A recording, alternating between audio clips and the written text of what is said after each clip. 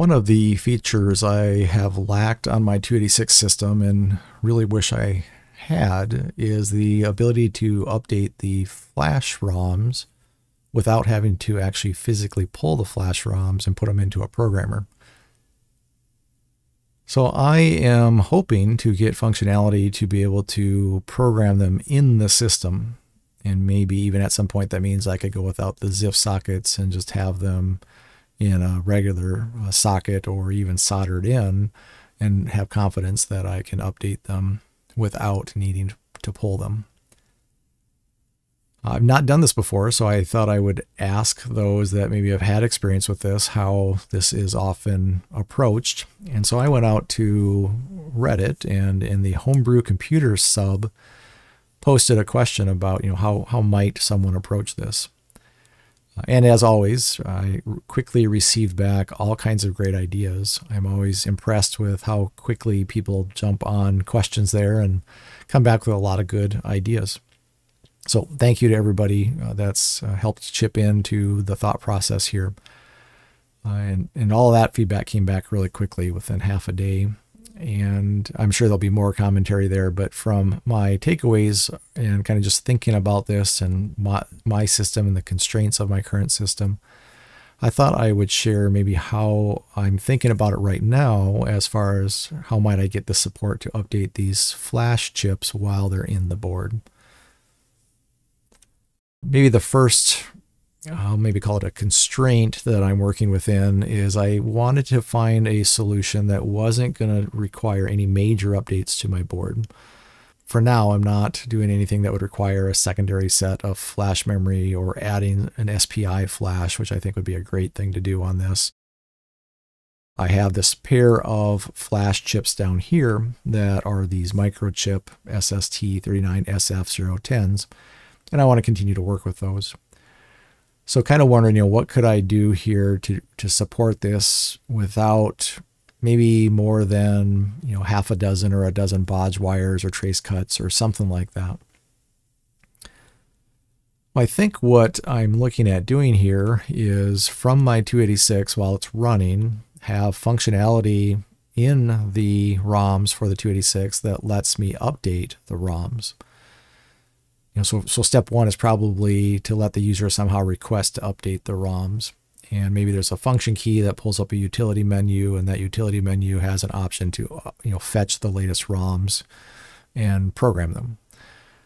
Of course, I'd confirm with the user, and if they say, well, yeah, let's continue, then what I might do is go fetch the latest ROMs from my PC. And so I have a development PC that's you know, typically connected to this Arduino Nano through a USB cable. So I can do serial communications, you know, between this Nano here and this PC here.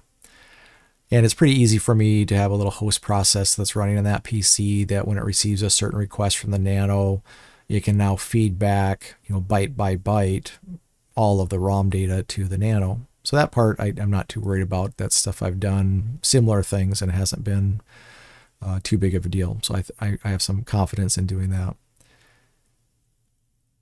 As I look at this, though, other things that I need to consider doing here is step one within this three. So 3A, you know, copy the update routine from ROM to RAM. So in my ROMs, I'm going to have to have some code that can do this communication to the Nano, pull back information from the PC, and then update the flash. So I need to take that functionality and get it out of Flash because I can't be programming the Flash and reading the code or executing code from it simultaneously. But I, what I should be able to do is though take those routines for updating the Flash memory and copy them to RAM. And once they're in RAM, I can execute them from RAM. I think there'll, there'll be some challenges there for me to figure out how to do that and make sure all my memory offsets and all of that stuff works correctly. But I think it's it's doable it'll be a, a good exercise for me. But from my RAM now, I, I have the routines in memory that I can actually update the ROMs. And so then I'll make the call to the Nano through SPI. I'll then go fetch the data, I'll bring it back, and then I'll write it out to these ROMs. Before I actually do that writing of data to the ROMs, I have to disable my interrupts. So just to make sure that something in my system doesn't interrupt this update routine. So I'll disable interrupts so there's no keyboard, mouse, timers, things like that. In my PSOC, I am going to have a register, and I'm going to call it an enable ROM write, and that register has to be flipped before I can write to these. And I'll give you a little bit more detail about that here momentarily. So the 286 is going to have to copy procedures up to RAM. It's going to have to disable interrupts. It's going to have to toggle a register in my PSOC. And then it can bring down the data and write it to the flash memory. And then at the end of that, either reread the entire you know, image and compare, make sure it all came down properly, or do some sort of a checksum comparison. I should state that you know these chips that I'm using for my flash do have built-in software data protection. So even if the write enable signal goes low, which means enable writing, they're not going to allow writing without some extra few bytes of special data being sent to them to actually allow full writes. So that means that this register in my PSOC probably isn't overly necessary. But what it might give me in the future is I could then have portions of these ROMs, this flash memory that is not writable. So in my PSOC, I can control if there's maybe a special section of the ROM that no matter what, I don't want to allow it to be overwritten. I can go ahead and keep that write enable signal high, even though maybe some other code is trying to write to it or do something with it. So this this extra register is just going to maybe give me some flexibility, maybe a little extra safety, but I would argue that safety just in general isn't needed. But if I want to get into read only portions of the flash memory, then this register I think is going to come in handy. Now, if I've done all of this, I've copied the routine from ROM to RAM, I've disabled my interrupts, I've toggled this write enable register in the PSOC. I then actually copy all the data from the PC to the Nano to the flash memory. And then I validate that it came down correctly with, let's say, a checksum. Then probably the next step is to actually reset the system. And I'm going to put in support for that so that I can actually, from my Nano, reset the system. And I'll show that a little bit more about that here uh, momentarily also. So if I go look at this PSOC for a second and just talk about the register that I've put in, I have put in a register here in the center of the screen. And all of these others are previous ones I've shown where I have an IO address for for example, in this case, my interrupt controller, my math coprocessor for my programmable peripheral interfaces, for my versatile interface adapter. I put in some comments about what uh, what specific address is being used for my VGA register and my sound card register. But now I'm adding one more, and it's a 40, hex 40 will be the address for a register that is actually in the PSOC. All these other ones are just simply decoding to get to the registers elsewhere in the system. In this case, this register is in the PSOC itself. So I'm using a D flip-flop with enable right here. And I'm checking to make sure that it's the proper IO address and I'm doing an IO write. So if I try to do an IO write to the proper address, that'll get me to this flip-flop. And then I'm going to read in my data zero line and write that in, which will now come out of that flip-flop and I'm going to use the peripheral clock off of my clock generator chip for clock coming into this. So now I'm fetching those extra signals coming in, uh, which really the, the extra signals I had to add would be my data line, this IO write signal because I wasn't using that before, and also this peripheral clock. So those three lines coming in, but now I'm going to have an additional line coming out, which is a ROM write enable. And again, any of these that, uh, you know, like ROM write enable B is for bar. In other words, it's an active low. And at the same time, I'm going to use the onboard LED on the PSOC just to indicate the status of this signal. So if this LED is off, it's not writing because that would be a low here, which would not get me my NAND gate output that I would need. But if I do enable, I write in a 1 to this enable ROM write, That'll turn on the LED, that'll flip this to true. So if I'm also doing my memory write and I am having this register set with a high, in other words, I've enabled with a high, so let's think of it as an active high, and I'm in 18, A18, A19 are both 1, which this is the top 256K of my meg, then that will enable this as a low active low ROM write. And I can then enable both both chips as far as the ROM write is concerned. And then I'll have some work probably to do to make sure that I can enable both chips because I want to want to write two bytes at a time or 16-bit writes and be updating both of those chips simultaneously. But I think I can work through that. So I have a little bit more thought to put into that. But I think I can make that work. Or I can write to one, then write to the other, get both of them into the proper write mode, and then burn through the entire address, address space of the ROMs and flash them. So hopefully that makes sense what I'm doing here. I've got a register, I need to come in, I need to flip it. If I flip it, that then will allow me to write to the ROM if I'm also doing a memory write at the address that is my proper address space for my ROMs. Now, if I jump over to my 286 schematic, part of it has this messy thing on it, but this is just the schematic for my PSOC from the 286 perspective. And I just put little green dots just to call out here I'm going to pull in this IO write signal. I'm going to pull in the P clock. I'm going to pull in my uh, data zero, and then I'm going to output this ROM write enable. Something else while I'm here, previously, if you look at my schematics, I was using all of these lines here for LED status output lines. I haven't been using those LED status output lines, so I'm just going to repurpose them.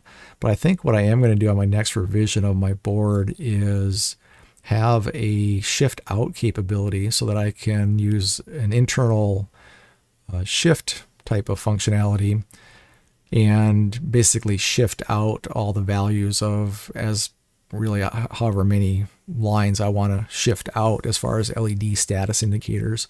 So it'll require maybe an extra IC or two on my 286 board, but now I can free up a whole bunch of pins and use a shift register internally within this to shift out my LED statuses and then use a shift register to receive those in on the board and then light up appropriate LEDs. So that's probably a minor tweak I'll also make in a future version. Now, as far as these pins and connecting them, you know, all of these pins you're seeing here are right here on the PSOC. And all those LEDs I did already have routed up to this header up here. So I'm going to be able to jump into this header or this header to get to all of this. I also have my data line already, data and address lines already up in these pin headers. So I can easily now just pull data zero and just do a jumper over here. And so now I can get my data, data zero in that I'll need. Uh, so all that's going to be pretty easy to connect up uh, the way this board is already laid out. To maybe jump into that a little bit more detail. So I've got bus data zero that I'm going to pull and connect up. I'm going to have my P clock that I'll have to come off of my clock generator up to a pin on my PSOC. So I'll have to put a bodge wire probably on the bottom side of that is, is probably where I'll mount that, the bottom side of the system board. I'm going to have to cut the grounds off of these sockets. So, and I shouldn't say off the sockets, I need to look and figure out, uh, can I simply, and I'm hoping I can, but uh, trim out the connection to the ZIF socket. Previously, my write enables on these chips were being pulled up to VCC and I will have to cut those traces if I can. So I'm gonna have to get in here and see if I can manage that or not. If I can't, that's gonna make this difficult and I'll have to probably wait till I revise the board, print an updated version. But I need to get this write enable signal. And again, this header is connected down here. So I'm really getting that ROM write enable down to these appropriate chips. So I'll have to do that. And then I also have my Arduino that's going to tap in over to this DS1232 and be able to trigger a reset of the entire system. Uh, so not just a reset of the processor, but a reset of the entire system and all of the peripherals that uh, drive off of this reset signal, which goes through my bus controller out to the rest of the system, or actually the clock gener generator has the reset in it. that is the master reset for everything. Uh, now, if I look at the coding I'm going to have to do to actually update these flash chips, those flash chips have these modes of operation. And if I'm going to go out and, for example, and do a, a program or an erase, um, I can I can come in here and basically make sure I flip the mode and pull my output enable high and get my write enable pulled low so I can program it, I can erase it. Uh, those are things that I can do there. And then there are these certain sequences that I can send it if I want to just byte by byte update the contents. If I want to erase a sector, which is a 4K amount of space, 4 kilobytes, or I can erase the entire chip. So probably what I'll do is I'll do a full chip erase and then I'll go through and program in the bytes that uh, don't have FF in the byte already. The datasheet for this gives all of these sequences. So if I want to do an erase here's basically the sequence I'll have to go through to do an erase. If I want to erase just a sector, I can do that. I'm guessing what I'll most commonly do is though is erase the entire chips and then write uh, all of the non-F data back to the chip, but we'll see how that goes.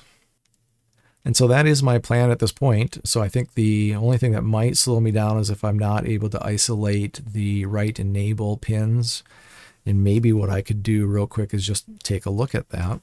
Okay, so here I am in my 286 build. And I'm going to just come down to these. Here's one of these chips here. And let me go find my, yeah, here's my write enable. So this is showing Unfortunately, it's on the top layer for me to disconnect this. So if I am going to be successful here, I'm going to have to come in and take out the entire ZIF socket and cut this VCC. Um, on the bottom layer, I've got this signal, so that's out of the way, but my top layer is pulling up my write enable. And so being that that VCC is connected right here, that's going to be underneath the ZIF socket. So I'm going to have to pull out the entire ZIF socket, trim that. And once that is trimmed, that looks like that's actually going to disconnect this VCC from what's up here, um, which means I'll have to just make sure that there is redundancy that power is getting. I might have to connect this pin down here to this up here, but I'll have to look at that but this is what I need to isolate is this pin here. So I need to get this off and this off of here and then connect this to an output of that PSOC. And if I go over to my other SST,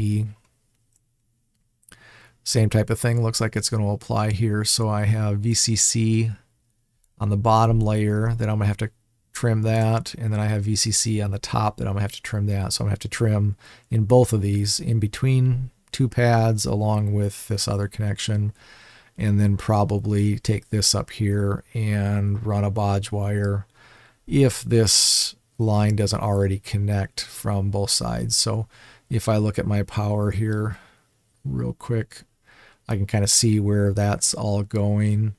And actually with my copper fill, I don't think that's that one's going to be fine. If I come up to the other side of this, basically that's just going to this cap, which is going to another cap. So really, I just have to make sure I get these caps connected back in down here. So that's not a big deal at all.